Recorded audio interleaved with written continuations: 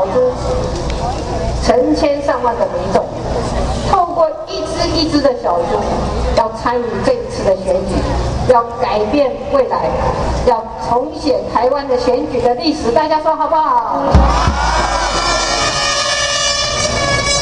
在过去的历史，国民党在威权的时代，把民主的改革视为是洪水猛兽，最后还是挡不住人民的力量。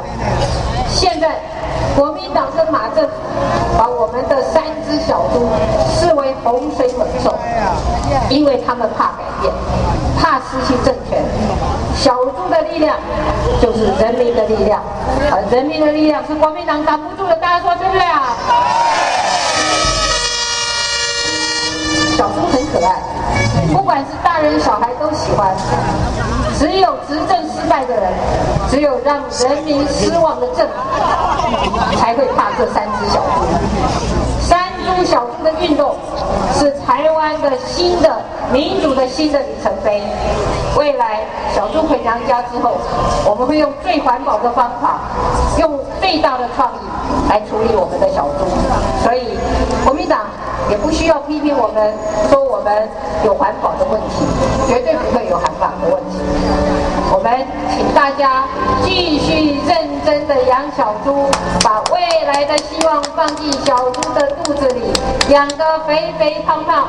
明年一月十四号，让全世界都看到我们小猪的力量，看见台湾人民用三只小猪打败国民党这只大怪兽的事情，好不好？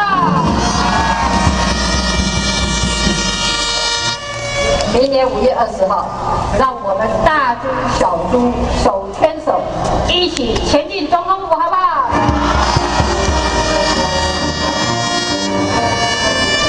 我们真的正在写台湾的历史，我们也希望在二零一二执政之后，我们给台湾做很多的事情，我们让台湾能够更好，我们的客家的文化。